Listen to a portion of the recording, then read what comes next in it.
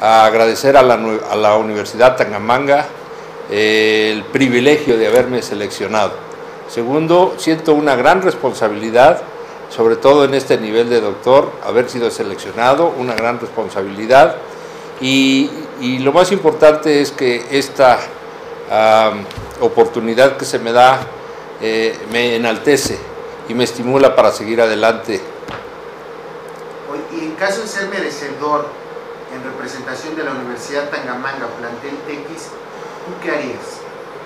Considero que continuaría con mi estilo de vida.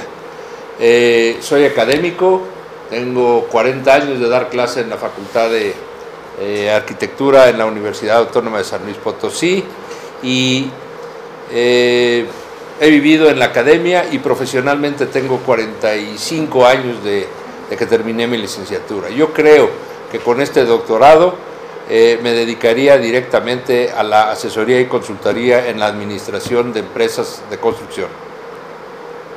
¿Y qué mensaje le puedes brindar a la comunidad estudiantil de San Luis Potosí? Bueno, pues primeramente que eh, se formen ellos un objetivo, cumplan todas sus metas, paso a paso.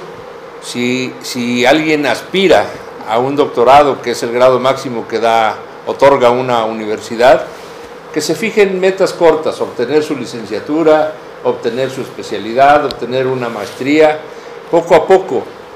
Eso sí, la disciplina, la constancia y todo el esfuerzo que le dediquen no, no será eh, en vano, porque al final verán eh, cristalizados todos, todos sus sueños.